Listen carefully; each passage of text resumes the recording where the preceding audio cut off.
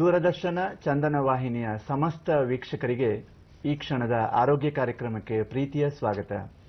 ಪ್ರಿಯ ವೀಕ್ಷಕರೇ ಕಂದನಿರುವ ಮನಿಗ ಬೀಸಣಿಗಿ ಯಾತಕ ಅಂತ ಜನಪದ ಮಾತ ಕೇಳ್ತಾಳೆ. ಅಂದ್ರೆ ಒಬ್ಬ ಆರೋಗ್ಯವಂತ ಮಗು ಮನೆಯಲ್ಲಿ ಒಳಗೆ ಹೊರಗೆ ಅಂಗಳದಲ್ಲಿ ಓಡಾಡ್ಕೊಂಡಿದ್ರೆ ಬೀಸಣಿಗೆ ಯಾಕೆ ತಂಗಾಳಿ ಬೀಸ್ದಾಗಿರುತ್ತೆ ಅಂತ. ಆದ್ರೆ ಆರೋಗ್ಯವಂತ ಮಗು ಅಲ್ಲೇ ಇದ್ರೆ ಅದಕ್ಕೆ ಗಳು ತೊಂದರೆಗಳು ಕಾಣಿಸ್ಕೊಂಡ್ರೆ ಬದುಕೇ ಒಂಥರ ಜಂಜಡ ಆಗುತ್ತೆ. ಮಕ್ಕಳಿಗೆ ಕಾಡಬಹುದಾದಂತಹ ಒಂದು ದೊಡ್ಡ ಸಮಸ್ಯೆ ಅಂದರೆ ಡೌನ್ ಸಿಂಡ್ರೋಮ್. ಬನ್ನಿ, ಡೌನ್ ಸಿಂಡ್ರೋಮ್ ಅಂದ್ರೇನು? ಇದು ಎಷ್ಟೊಂದು ಗಂಭೀರವಾಗಿದೆ. ಇದು ಕುಟುಂಬದವರನ್ನ ಯಾವ ರೀತಿಯ ತೊಂದರೆಗೆ ಒಳಪಡಿಸಬಹುದು? ಈ ಎಲ್ಲ ವಿಷಯಗಳ ಬಗ್ಗೆ ಬೆಳಕನ್ನು ಚೆಲ್ಲೋದಕ್ಕೆ ಅಂತಾರಾಷ್ಟ್ರೀಯ ಪ್ರ- ಪ್ರಖ್ಯಾತಿಯ ಇಂದಿರಾ ಗಾಂಧಿ ಮಕ್ಕಳ ಆರೋಗ್ಯ ಸಂಸ್ಥೆ ಬೆಂಗಳೂರಿನ ನಿರ್ದೇಶಕಿ ಖ್ಯಾತ ಮಕ್ಕಳ ತಜ್ಞೆ ಡಾಕ್ಟರ್ ಆಶಾ ಬೆನಕಪ್ಪ ಅವರು ನಮ್ಮ ಜೊತೆ ಸ್ಟುಡಿಯೋದಲ್ಲಿದ್ದಾರೆ. ಅತ್ಯಂತ ಗೌರವದ ಸ್ವಾಗತ. ನಮಸ್ಕಾರ. ಮೇಡಮ್ ಬಹುಶಃ ತುಂಬಾ ಸೂಕ್ಷ್ಮ ಸಂವೇದನಾಶೀಲವಾದಂತಹ ವಿಷಯ ಡೌನ್ ಸಿಂಡ್ರೋಮ್ ಅನ್ನೋದು. ಡೌನ್ ಸಿಂಡ್ರೋಮ್ ಮಗುವನ್ನ ಸಾಕೋದು ಹೇಗೆ ಏನು ಅನ್ನೋದು ಆ ತಂದೆ ತಾಯಿಗಳಿಗೆ ಮಾತ್ರ ಗೊತ್ತು. ಇಂಥ ವಿಷಯದ ಬಗ್ಗೆ ಬೆಳಕನ್ನ ಚೆಲ್ಲೋದಕ್ಕೆ ತಾವಲ್ಲದೆ ಇನ್ಯಾರಿಗೂ ಅಷ್ಟೊಂದು ಸೂಕ್ತರಲ್ಲ ಅಂತ ಅನ್ಸುತ್ತೆ. ಏನು ಮೇಡಮ್ ಡೌನ್ ಸಿಂಡ್ರೋಮ್ ಅಂದ್ರೆ? ಈಗ ಡೌನ್ ಸಿಂಡ್ರೋಮ್ ಅಂತಂದ್ರೆ ಸಾಮಾನ್ಯ ಮನುಷ್ಯನಲ್ಲಿ ಇಪ್ಪತ್ಮೂರು ಕ್ರೋಮೋಸೋಮ್ಸ್ ಇರುತ್ತೆ. ಜೊತೆ ಜೋಡಿ. ಅದರಲ್ಲಿ ಇಪ್ಪತ್ತೆರಡು ಕ್ರೋಮೋಸೋಮ್ಸ್ಗೆ ನಾವು ಆಟೋಸೋಮ್ ಅಂತ ಹೇಳ್ತೀವಿ. ಒಂದು ಜೋಡಿ ಅದು ಲಿಂಗ ಲಿಂಗದ ಜೋಡಿ. ಅಂದ್ರೆ ಎಕ್ಸ್ ವೈ ಕ್ರೋಮೋಸೋಮ್ಸ್ ಇದ್ರೆ ಅದು ಗಂಡ್ ಮಗು ಆಗುತ್ತೆ ಎಕ್ಸ್ ಎಕ್ಸ್ ಇದ್ರೆ ಹೆಣ್ ಮಗು ಆಗುತ್ತೆ.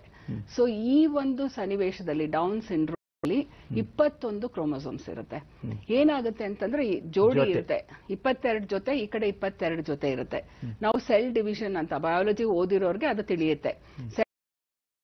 ಒಂದು ಸೆಂಟ್ರೋಮಿಯರ್ ಅಂತ ಇರುತ್ತೆ ಅವನ್ನ ಎಳೆಯುತ್ತೆ. ಸೆಂಟರ್ಗೆ ಎಳೆದ್ಬಿಟ್ಟು ಎರಡು.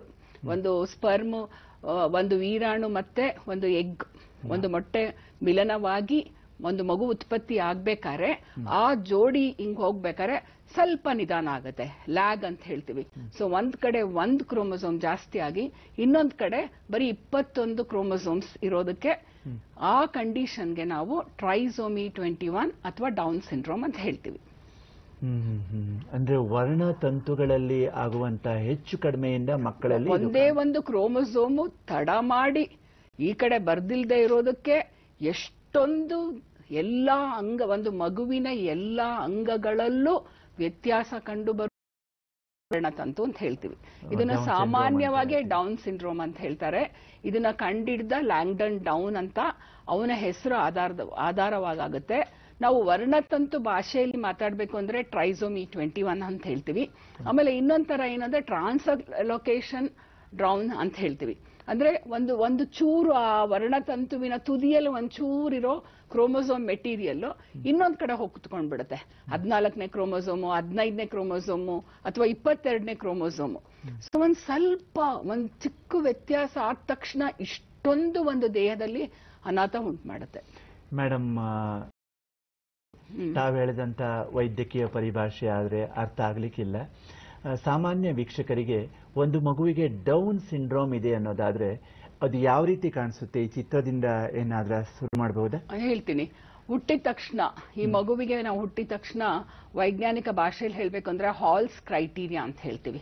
ಸೊ ಮಗು ನೋಡಿದ ತಕ್ಷಣ ಏನಾಗುತ್ತೆ ಅಂತಂದ್ರೆ ಸಾಮಾನ್ಯವಾಗಿ ನಮ್ಮ ಬೆರಳಿಂಗ್ ನಾವು ಮುಟ್ಸಕ್ಕಾಗಲ್ಲ. ಇದಕ್ಕೆ ಹೈಪರ್ ಎಕ್ಸ್ಟೆನ್ಸಿಬಿಲಿಟಿ ಅಂತ ಹೇಳ್ತೀವಿ. ಆಮೇಲೆ ಆ ಮಗು ಕಾಲ್ನ ಇಲ್ಲಿವರೆಗೂ ಎಳ್ಕೊಂಡು ಅಥವಾ ಕೈನ ಹಿಂಗ್ ಸುತ್ತಕೊಂಡು ಸ್ಕಾರ್ಫ್ ಸರ ಹಿಂಗ್ ಸುತ್ತ ಹಾಕೋಬಹುದು ಸೊ ಇದಕ್ಕೆ ಹೈಪೋಟೋನಿಯಾ ಅಂತ ಹೇಳ್ತೀವಿ. ಆಮೇಲೆ ಮಗು ಹುಟ್ಟಿದ ತಕ್ಷಣ ಹಿಂಗ್ ಎತ್ಕೊಂಡ್ರೆ ಅದಕ್ಕೊಂದು ರಿಫ್ಲೆಕ್ಸ್ ಇರುತ್ತೆ. ಜೀವಕ್ರಿಯೆ ಪ್ರಕ್ರಿಯೆ ಅಂತ ಹೇಳ್ತೀವಿ. ಆ ಪ್ರಕ್ರಿಯೆ ಸಹಿತ ಆ ಮಗುವಲ್ಲಿ ಇರೋದಿಲ್ಲ. ಆಮೇಲೆ ಮುಖ ಒಂಥರ ಫ್ಲಾಟ್ ಆಗಿರುತ್ತೆ. ಸೊ ಈ ಮಗುವಿನ ಮುಖವೇ ಒಂದು ಒಂದು ವಿಶೇಷವಾದ ಗುರ್ತು ಹಿಡಿಯೋ ಒಂದು ಚಿಹ್ನೆ. ಅಂದ್ರೆ ಎಲ್ಲಾ ಮಕ್ಕಳಾಗೆ ಸಹಜ ಸಹಜವಾಗಿ ಇರೋದೇ ಇಲ್ಲ. ಈ ಚಿತ್ರದ ಈ ಚಿತ್ರದಲ್ಲಿ ಹೇಳ್ಬೇಕು ನಾನು ಅಂತಂದ್ರೆ ಆ ಮಗುವಿನ ಮುಖದಲ್ಲಿ ಈ ಪೋರ್ಷನ್ ಡಿಪ್ರೆಸ್ ಆಗಿರುತ್ತೆ. ನಾವು ಅದಕ್ಕೆ ಡಿಪ್ರೆಸ್ ನೇಸಲ್ ಬ್ರಿಡ್ಜ್ ಅಂತ ಹೇಳ್ತೀವಿ. ಆಮೇಲೆ ಮಗುವಿನ ಕಣ್ಣು ಸಾಮಾನ್ಯವಾಗಿ ನಮ್ದು ಮಂಗೋಲಾಯ್ಡ್ ಆಂಟಿ ಮಂಗೋಲಾಯ್ಡ್ ಸ್ಲ್ಯಾಂಟ್ ಅಂತ ಹೇಳ್ತೀವಿ. ಸೊ ನಮ್ ಕಣ್ಣೆಲ್ಲ ಹೀಗಿದ್ರೆ ಡೌನ್ ಸಿಂಡ್ರೋಮ್ ಅಲ್ಲಿ ಹಿಂಗಿರುತ್ತೆ. ಸೊ ಅದ್ರಲ್ಲಿ ಕಾಣಿಸ್ತಿದೆ ಆ ಮಗುವಿನ ಚಿತ್ರದಲ್ಲಿ. ಅಲ್ಲಿ ಆಮೇಲೆ ಒಂದು ಎಕ್ಸ್ಟ್ರಾ ಫೋಲ್ಡ್ ಆಫ್ ಸ್ಕಿನ್ ಕೆಳಗಡೆ ರೆಪ್ಪೆಯಿಂದ ಮೇಲ್ಗಡೆ ರೆಪ್ಪೆಗೆ ಒಂದು ಎಕ್ಸ್ಟ್ರಾ ಫೋಲ್ಡ್ ಆಫ್ ಸ್ಕಿನ್ ಹೋಗ್ಬಿಟ್ಟು ಅದಕ್ಕೆ ನಾವು ಎಪಿಕ್ಯಾಂಥಲ್ ಫೋಲ್ಡ್ ಅಂತ ಹೇಳ್ತೀವಿ. ಆಮೇಲೆ ಮಗುವಿನ ಮೂಗು ಒಂಥರ ತುಂಬಾ ಫ್ಲಾಟ್ ಆಗಿರುತ್ತೆ. ನೀವು ಸೈಡ್ ಇಂದ ನೋಡಿದ್ರೆ ಫ್ಲಾಟ್ ಫೇಸಿಸ್ ಅಂತ ಹೇಳ್ತೀವಿ. ಮೂಗು ತುಂಬಾ ಫ್ಲಾಟ್ ಆಗಿರುತ್ತೆ. ಆಮೇಲೆ ನಾಲ್ಗೆ ಏನೋ ಆ ಮಗು ಬಾಯಿಗೆ ತುಂಬಾ ದೊಡ್ಡದಾಗಿರೋ ಹಂಗ್ ಕಾಣಿಸುತ್ತೆ. ಆಮೇಲೆ ಕಿವಿ ಬಹಳ ವಿಕೂರ ವಿಕಾರವಾಗಿರುತ್ತೆ. ಆ ಕಿವಿದು ಒಂಥರ ಆಲೆ ಅದು ಟ್ರೇಗಸ್ ಅಂತೆಲ್ಲ ನಾವು ಹೇಳ್ತೀವಲ್ಲ ಅದೆಲ್ಲ ಸಣ್ಣಕ್ಕೆ ಮ್ಯಾಲ್ಫಾರ್ಮ್ ಚಿಕ್ಕದಾಗಿರುತ್ತೆ ಕಿವಿ. ಆಮೇಲೆ ತಲೆ ನಾರ್ಮಲ್ ಆಗಿ ನಮ್ಮ ತಲೆಗೆ ಡಿಫ್ರೆಂಟ್ ಆಕಾರ ಇರುತ್ತೆ.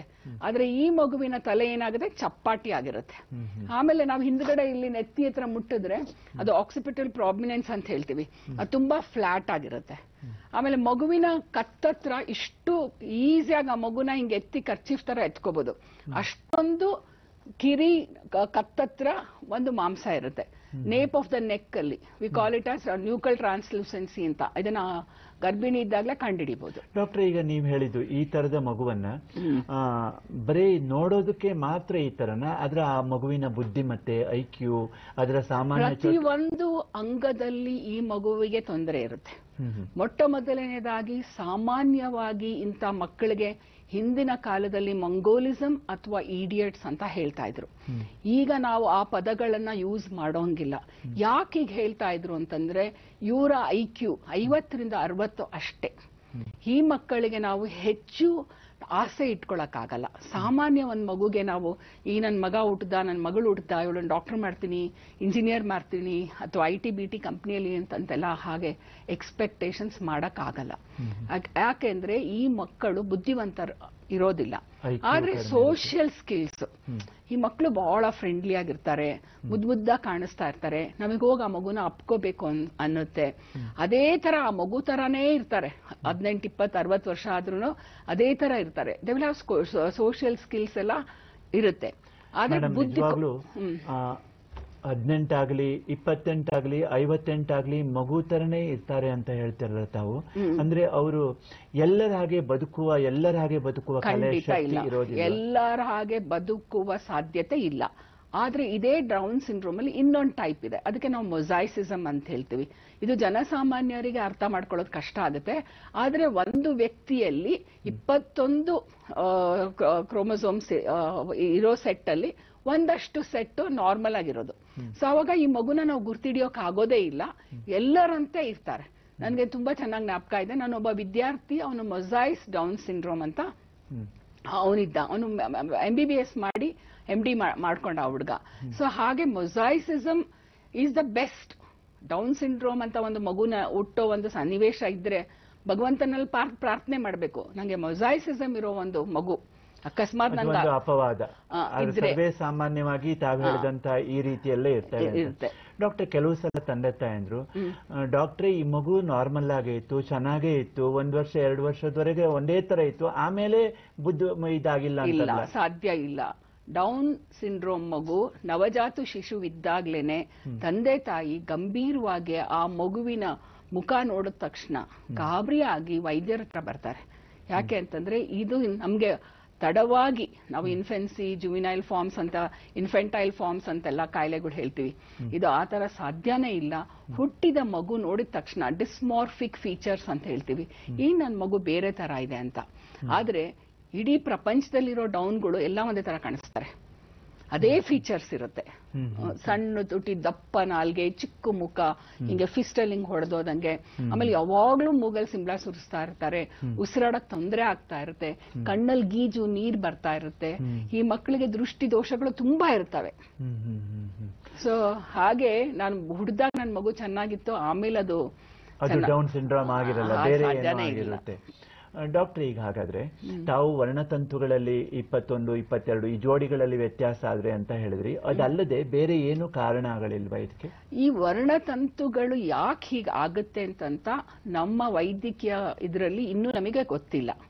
ಕೆಲವು ಸಂದರ್ಭದಲ್ಲಿ ಆ ಒಂದು ಸನ್ನಿವೇಶದಲ್ಲಿ ಅಕಸ್ಮಾತ್ ಯಾವ್ದಾರ ಒಂದು ವೈರಸ್ ಇನ್ಫೆಕ್ಷನ್ ವೈರಾಣು ಜ್ವರ ಆಗಿದ್ರೆ ತಾಯಿಗೆ.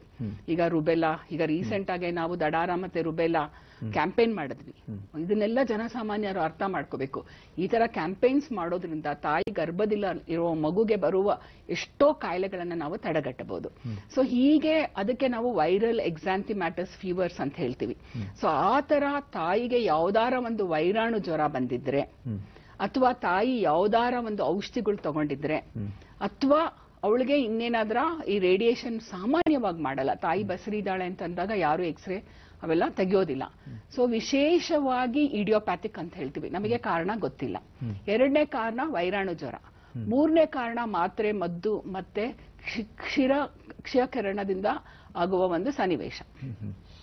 ಈ ಮದುವೆಯ ವಯ ಗರ್ಭಧಾರಣೆಯ ಈಗ ನೀವು ಕೇಳಿದ್ದು ವರ್ಣತಂತು ಯಾಕೆ ಹಿಂಗಾಗುತ್ತೆ ಅಂತಂತ. ಅದಕ್ಕೆ ನಾನು ಉತ್ತರ ಕೊಟ್ಟೆ. ಈಗ ಮದುವೆ ಆಗುವ ವಯಸ್ಸು ಬಹಳಷ್ಟು ಸೋಷಿಯಲ್ ಕಾಸಸ್ ಬಹಳಷ್ಟು ಹೆಣ್ಮಕ್ಳು ಇವಾಗ ನಂಗೆ ಈಗಲೀಗ್ಲೇ ಮದುವೆ ಬೇಡ. ಅವರು ಒಂದು ಕೆರಿಯರ್ ಗ್ರೋತ್ ಅವರು ನಾನು ಇದನ್ನ ನಾನು ಆಗ್ಬೇಕು ನಾನು ಡಾಕ್ಟರ್ ಆಗ್ಬೇಕು ನಾನು ಸ್ನಾತಕೋತ್ತರ ವಿದ್ಯಾರ್ಥಿ ಆಗ್ಬೇಕು ಅಂತಂತ ಮದುವೆನ ತಡ ಮಾಡ್ತಾ ಇದ್ದಾರೆ. ಸೊ ಸಾಮಾನ್ಯವಾಗಿ ಡೌನ್ ಸಿಂಡ್ರೋಮ್ ಕಂಡು ಬರೋದು ಮೂವತ್ತೈದು ವರ್ಷಕ್ಕೆ ಮದುವೆ ಆದ್ರೆ. ಇನ್ನ ನಾವು ಸೇಫ್ ಆಗಿರ್ಬೇಕು ಅಂತ ಅಂದ್ಬಿಟ್ಟು ಮೂವತ್ತು ವರ್ಷದ ನಂತರ ಮದುವೆ ಆದ್ರೆ ಹೆಣ್ಮಕ್ಳು. ಹೆಣ್ಮಕ್ಳು ಮೂವತ್ತು ವರ್ಷದ ನಂತರ ಮದುವೆ ಆದ್ರೆ ಮೂವತ್ತು ವರ್ಷದ ನಂತರ ಅವರು ಗರ್ಭ ಧರಿಸಿ ಮಗು ಆಗೋದಿದ್ರೆ ಅವರಿಗೆ ಬಹಳಷ್ಟು ಕಾರ್ಯಕ್ರಮಗಳಿದಾವೆ. ಒಂದು ನಮ್ಮ ಸಮಾಜದಲ್ಲಿ ಅಥವಾ ಆಸ್ಪತ್ರೆಗಳಲ್ಲಿ ತಪಾಸಣೆ ಮಾಡುವ ಕೇಂದ್ರಗಳಿದಾವೆ ಸೊ ಆ ಕಾರ್ಯಕ್ರಮಗಳಲ್ಲಿ ಅವರು ಪಾಲ್ಗೊಂಡು ಆ ಮಗು ನಾರ್ಮಲ್ ಆಗಿದೆಯೋ ಅಬ್ನಾರ್ಮಲ್ ಆಗಿದೆಯೋ ಅಂತ ತಿಳ್ಕೊಳ್ಳೋ ಒಂದು ಪದ್ಧತಿ ಇದೆ. ಆದ್ರೆ ಇನ್ನೊಂದು ವಿಷಯ ಏನ್ ಗೊತ್ತಾ ಕೃಷ್ಣಮೂರ್ತಿ? ನಾವು ಮೂವತ್ತು ವರ್ಷ ಆದ್ಮೇಲೆ ಮದುವೆ ಆಗಿ ಮಗು ಆದ್ರೆ ಹಿಂಗಾಗ್ಬೋದು ಅಂತ ನಾವು ಅನ್ಕೊಂಡಿದ್ರೆ ಇಪ್ಪತ್ತು ವರ್ಷಕ್ಕೂ ಇಂಥ ಮಕ್ಕಳು ಹುಡ್ತಾರೆ. ಹುಟ್ಟಿದಂತ ಸಂದರ್ಭಗಳಿದಾವೆ. ಇದಾವೆ. ಆದ್ರೆ ಇಂಥವರಲ್ಲಿ ಹೆಚ್ಚು ಅಂತ ಹೇಳ್ತಾರೆ. ತಡವಾಗಿ ಗರ್ಭ ಧರಿಸಿದಾಗ ಆಗುವಂತ ಸಾಧ್ಯತೆಗಳು ಹೆಚ್ಚು ಅಂತ ಹೇಳ್ತಾರೆ ಹೆಚ್ಚು. ಈಗ ನಾವು ಒಂದು ಸ್ಟಾಟಿಸ್ಟಿಕ್ಸ್ ತಗೊಂಡ್ರೆ ಈಗ ಇಪ್ಪತ್ತು ಇಪ್ಪತ್ತೈದು ವರ್ಷದಲ್ಲಿ ಹುಟ್ಟುವ ಮಗು ಒಂದು ಸಾವಿರಕ್ಕೆ ಒಂದು ಮಗು ಆತರ ಹುಟ್ಟಿದ್ರೆ ವಯಸ್ ಆದಾದಂಗೆ ಒಂದು ಸಾವಿರಕ್ಕೆ ಐವತ್ ಮಕ್ಳು ಸಹಿತ ಈ ತರ ಹುಟ್ಬೋದು. ಹಾಗೆ. ನಮ್ಮ ಅಂಕಿ ಅಂಶಗಳನ್ನ ನಾವು ನೋಡಿದ್ರೆ. ಸೊ ವಯಸ್ ಆದಾದಂಗೆ ಜಾಸ್ತಿ ಇಂಥ ಮಕ್ಕಳು ಹುಟ್ಟೋ ಸಾಧ್ಯತೆ ಇರುತ್ತೆ. ಅನುವಂಶೀಯತೆ ಏನಾದ್ರೂ ಇದರಲ್ಲಿ ಬರುತ್ತೆ ಡಾಕ್ಟ್ರೆ? ಇಲ್ಲ ಅನುವಂಶಿಕ ಇಲ್ಲ. ಆದ್ರೆ ಟ್ರಾನ್ಸ್ಲೊಕೇಶನ್ ಡೌನ್ಸ್ ಅಂತಿದೆ. ಸೊ ಈ ಟ್ರಾನ್ಸ್ಲೊಕೇಶನ್ ಡೌನ್ಸ್ ಅಲ್ಲಿ ಏನಾಗುತ್ತೆ ಅಂತಂದ್ರೆ ಈ ಕಡೆ ಇಡೋ ಕ್ರೋಮೋಸೋಮ್ ಮೆಟೀರಿಯಲ್ ಇನ್ನೊಂದು ಕ್ರೋಮೋಸೋಮ್ಗೆ ಅಂಟ್ಕೊಳ್ಳುತ್ತಲ್ಲ? ಅವಾಗ ಅದೇನಾಗ್ಬಿಡುತ್ತೆ? ರಿಂಗ್ ತರ ಆಗ್ಬಿಡುತ್ತೆ. ಸೊ ಇಲ್ಲಿಂದ ಕಟ್ ಆಗ್ಬಿಟ್ಟಿರುತ್ತೆ ಅಂಟ್ ಅಂಟ್ಕೊಳ್ಳುತ್ತೆ ಅದು ರಿಂಗ್ ತರ ಇರುತ್ತೆ. ಸೊ ಇದು balance translocation or translocation Down's ಅಂತ. ಸೊ ಈಗಾಗಲೇ ಟ್ರೈಸೋಮಿ ಟ್ವೆಂಟಿ ಒನ್ ಇಪ್ಪತ್ತೊಂದು ಹೇಳ್ದೆ ನೆಕ್ಸ್ಟ್ ಮೊಸೈಸಿಸಮ್ ಕೆಲವು ಅಂಗಗಳಲ್ಲಿ ಟ್ರೈಸೋಮಿ ಟ್ವೆಂಟಿ ಒನ್ ಇರುತ್ತೆ ಕೆಲವು ಅಂಗಗಳಲ್ಲಿ ನಾರ್ಮಲ್ ಕ್ರೋಮೋಸೋಮ್ಸ್ ಇರುತ್ತೆ. ಇನ್ನೊಂದು ಸನ್ನಿವೇಶದಲ್ಲಿ ಟ್ರಾನ್ಸ್ಲೊಕೇಶನ್ ಡೌನ್ಸ್ ಅಂತ. ಇದರಲ್ಲಿ ಏನಾಗುತ್ತೆ ಅಂದ್ರೆ ತಾಯಿಗೋ ಅಥವಾ ತಂದೆಗೋ ಈ ಟ್ರಾನ್ಸ್ಲೊಕೇಶನ್ ಕ್ರೋಮೋಸೋಮ್ಸ್ ಇದ್ರೆ ಅದು ಅನುವಂಶಿಕ ಅದಕ್ಕಾಗಿ ಸಾಮಾನ್ಯವಾಗಿ ತಾಯಂದು ನಮ್ಮ ಹತ್ರ ಈಗ ಒಂದು ಮಗುಗೆ ಡೌನ್ಸ್ ಇದ್ದಾಗ ನಾವು ಕ್ಯಾರಿಯೋಟೈಪಿಂಗ್ ಅಂತ ಮಾಡ್ತೀವಿ. ಅಂದ್ರೆ ಈ ಮಗುವಲ್ಲಿ ಕ್ರೋಮೋಸೋಮ್ಸ್ ಎಷ್ಟಿದೆ ಅಂತಂತ. ಸೊ ಈ ಕ್ಯಾರಿಯೋಟೈಪಿಂಗ್ ಮಾಡೋದಕ್ಕೆ ಒಂದು ಸಾಮಾನ್ಯ ಲೆಕ್ಕ ತಗೊಂಡ್ರೆ ಸರ್ಕಾರಿ ಆಸ್ಪತ್ರೆಯಲ್ಲಿ ಎರಡೂವರೆ ಸಾವಿರ ಆದ್ರೆ ಒಂದು ಇದು ಪ್ರೈವೇಟ್ ಹಾಸ್ಪಿಟಲ್ಸ್ ಅಲ್ಲಿ ಮೂರುವರೆ ಸಾವಿರದಿಂದ ನಾಲ್ಕು ಸಾವಿರ ಆಗ್ಬೋದು. ಸೊ ಹೀಗಾಗಿ ಆ ಮಗುದು ಸರ್ ಸರ್ಪಣಿ ಅಂತ ಹೇಳ್ತೀವಿ ನಾವು. ಈ ಕ್ರೋಮೋಸೋಮ್ನ ಸ್ಟಡಿ ಮಾಡಕ್ಕೆ ಅಷ್ಟಾಗುತ್ತೆ.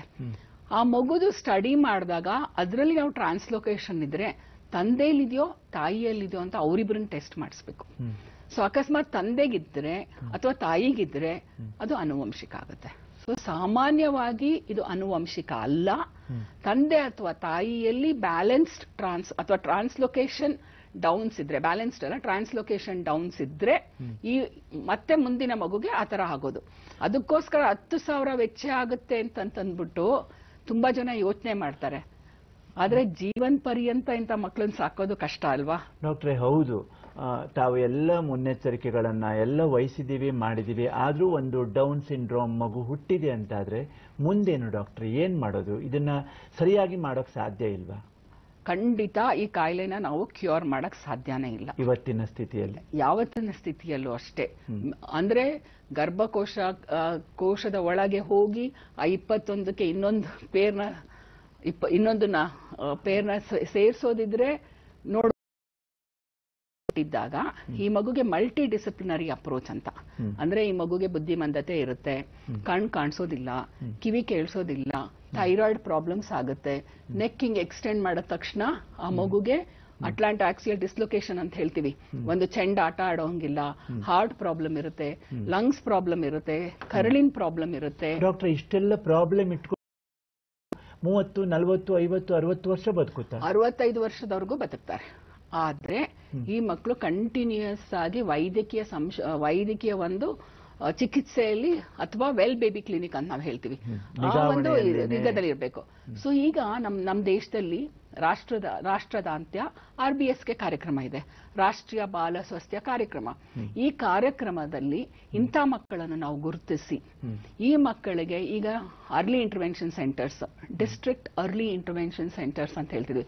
ಇದು ಮಲ್ಟಿ ಡಿಸಿಪ್ಲಿನರಿ ಅಪ್ರೋಚ್ ಅಲ್ಲಿ ಒಬ್ಬ ಸ್ಪೀಚ್ ಥೆರಪಿಸ್ಟ್ ಇರ್ತಾನೆ ದೃಷ್ಟಿ ದೋಷಕ್ಕೆ ನೋಡ್ಕೊಂತಾನೆ ಮಕ್ಳು ಹಿಂಗೆ ಕೈ ಹಿಂಗಾಗೋದನ್ನ ಅದನ್ನು ಟೆಸ್ಟ್ ಮಾಡ್ತಾರೆ. ಆರ್ಥೋಪೆಡಿಕ್ ಇರೋರು ಹಾರ್ಟ್ನವರು ಪ್ರತಿಯೊಬ್ಬರು ಒಟ್ಟಾಗಿ ಒಂದು ಮಗುವಿಗೆ ಬೇಕಾಗಿರೋ ಎಲ್ಲ ತರಬೇತಿ ಹೊಂದಿ ಎಷ್ಟು ತಮ್ಮ ಮಗುಗೆ. ಯಾವುದೇ ಒಂದು ಕಾಯಿಲೆಗೆ ಗುರಿಯಾದ್ರೆ ಅಥವಾ ಯಾವುದೇ ಒಂದು ತೊಂದರೆಗೆ ಮಗು ಗುರಿಯಾದ್ರೆ ತಾಯಿಯ ಪಾತ್ರ ಬಹಳ ಮುಖ್ಯ. ಸೊ ಈ ಒಂದು ಸೆಂಟರ್ಸ್ಗೆ ಅದು ಸರ್ಕಾರದಲ್ಲೇ ಇವೆಲ್ಲ ಇದೆ.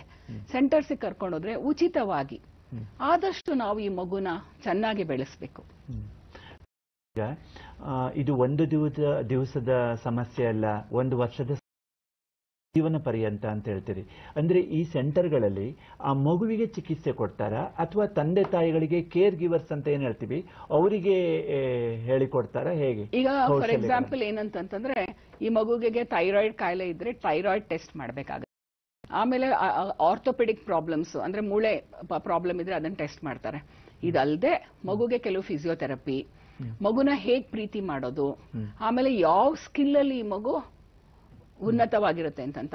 ಸಾಮಾನ್ಯವಾಗಿ ಡೌನ್ ಸಿಂಡ್ರೋಮ್ ಮಕ್ಕಳಿಗೆ ಮ್ಯೂಸಿಕ್ ತುಂಬಾ ಇಷ್ಟ.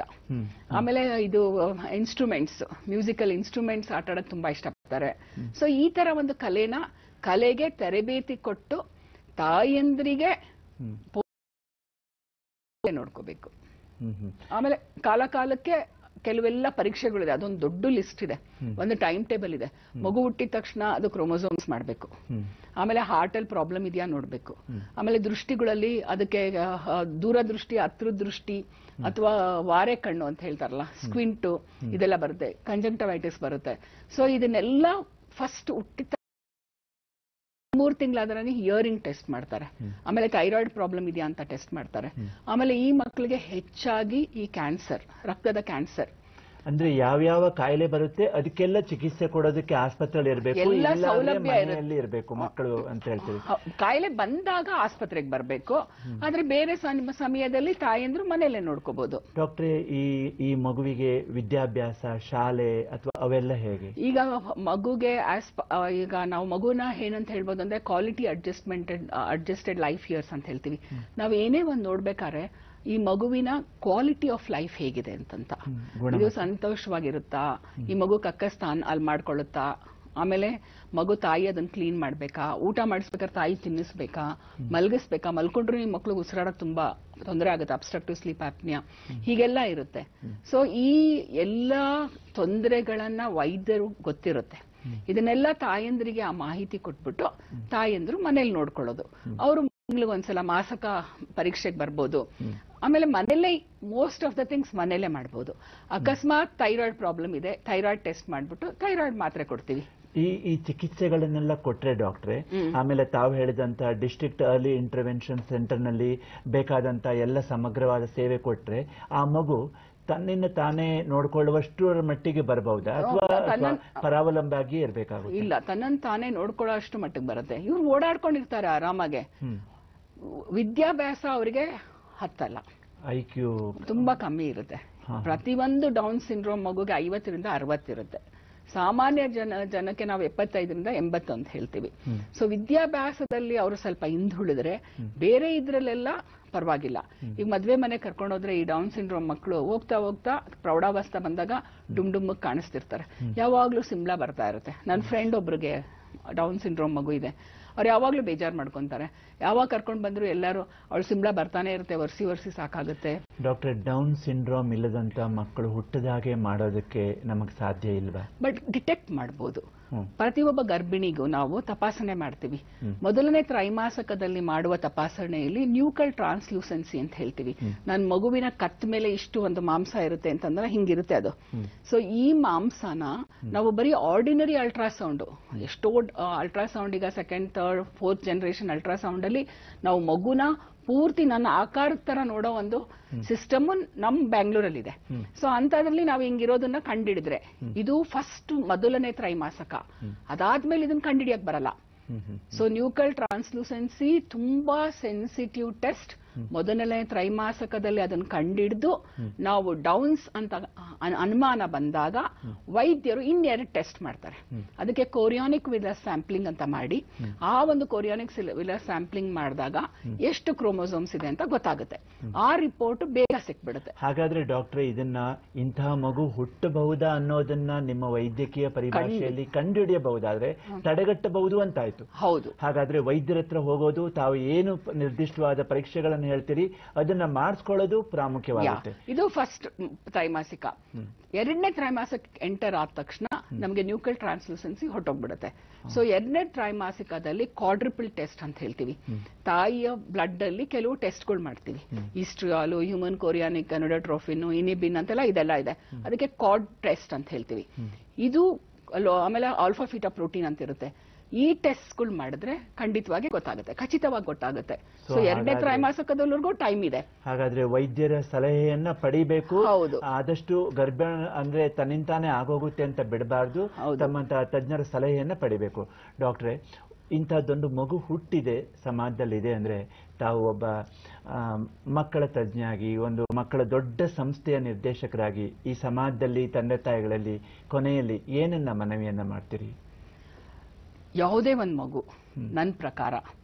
ಅದು ಭಗವಂತನ ಕೊಡುಗೆ.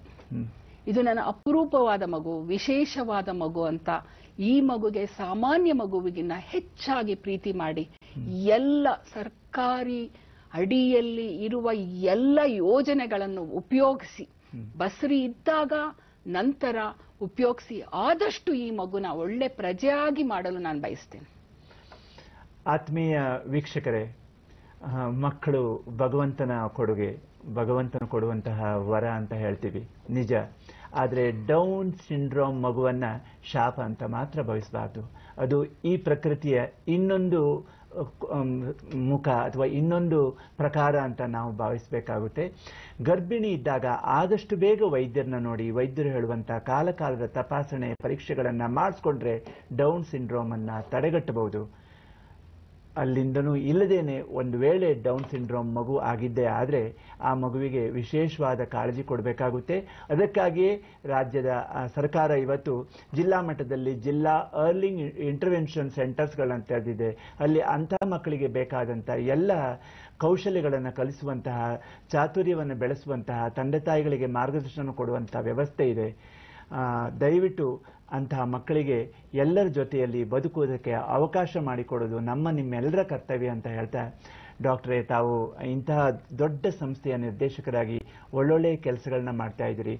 ಬಿಡುವಿಲ್ಲದ ತಮ್ಮ ಕಾರ್ಯಕ್ರಮದ ಮಧ್ಯೆ ಬಂದು ಡೌನ್ ಸಿಂಡ್ರೋಮ್ ಬಗ್ಗೆ ನಮ್ಮ ಜನರಿಗೆ ಮಾಹಿತಿಯನ್ನು ನೀಡಿದಿರಿ. ತಮಗೆ ಚಂದನ ವಾಹಿನಿಯ ಪರವಾಗಿ, ವೀಕ್ಷಕರ ಪರವಾಗಿ ಗೌರವ